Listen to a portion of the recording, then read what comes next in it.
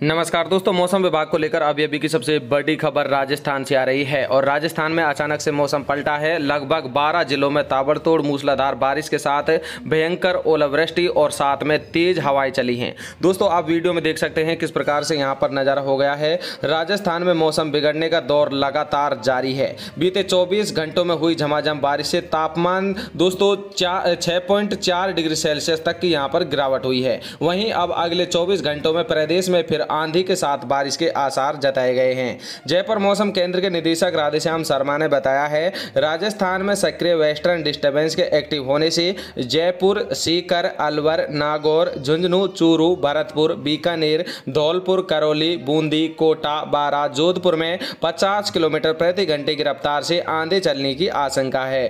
तेज हवा के साथ बारिश का भी अलर्ट जारी किया गया है। जयपुर संभाग में कुछ जगहों पर ओले गिरने की भी आशंका मौसम विभाग के द्वारा जताई गई है।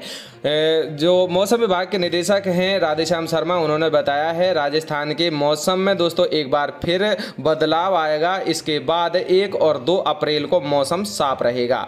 तीन अप्रैल को फिर से नए सिस्टम के सक्रिय होने से राजस्थान में आंधी के साथ बरसात होने की संभावना है। चार अप्रैल से मौसम फिर साफ़ हो जाएगा। इसके बाद तापमान में बढ़ोतरी का जो सिलसिला है, वो जारी रहेगा। लेकिन साथियों, आपको बता दें, इसी के साथ में बेमौसम जो बारिश, आंधी, तूफ़ान चल रहा है राजस्थान में इसकी वजह से दोस्तों किसान जल्दबाजी में हैं। अभी अभी पिछले 24 घंटों की अगर हम बात करें तो बूंदी और धौलपुर में दोस्तों किसान भाइयों की दर्दनाक मौत हो गई है थ्रेसर में आ जाने के कारण। इस कारण दोस्तों आप सभी से मैं रिक्वेस्ट करना चाहूँगा अपील कर, करना चाहूँगा कि जब भी आप दोस्तों अपनी फ़सलों को साफ़ करने के लिए जो थ्रेसर मशीन होती है सावधानी पूर्वक अपनी जो फ़सलें हैं उनको निकलवाएँ और हादसे से बचें। दोस्तों मौसम से जुड़ी सभी राज्यों की जानकारी पाने के लिए चैनल अभी ही सब्सक्राइब कर लें और बेल आइकन प्रेस कर लें। साथ ही आप हमारी वीडियो किस राज्य से देख रहे हैं कॉमेंट बॉक्स में हमें अवश्य बताकर जाएँ। धन्यवाद दोस्तों, जय हिंद, जय भारत, वंदे मातरम।